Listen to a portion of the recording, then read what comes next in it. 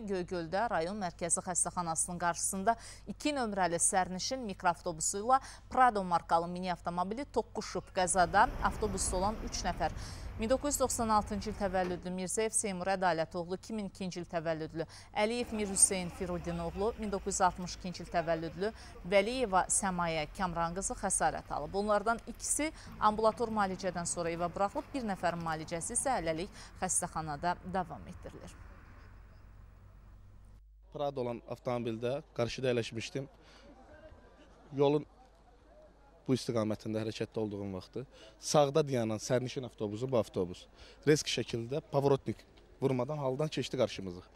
Biz də tormuzun izlərindən görünür. Tormuzu nə qədər verdik, qaçırtdıq, tən ortadan yox, arxasından vurdıq. Ortadan vursaydı daha çox xəsarət alınmış olacaqdı. Arxasından vuran kimi maşın açdı. Yəni o çəpinə durmuşdu bax buradan. Oradan bura keçib.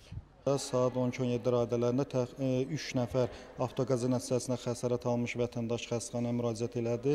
İlkin olaraq onlara lazımi tibbi yardımlar göstərdikdən sonra 2 nəfər ambulator müalicə üçün evə buraxılıb, bir nəfər isə kompüter tomoqrafiya müayinəsinə göndərilibdir. İndi müayinənin nəticəsindən asılı olaraq xəstənin ambulator və yaxud da stasionar müalicə alması barədə qərar qəbul ediləcək.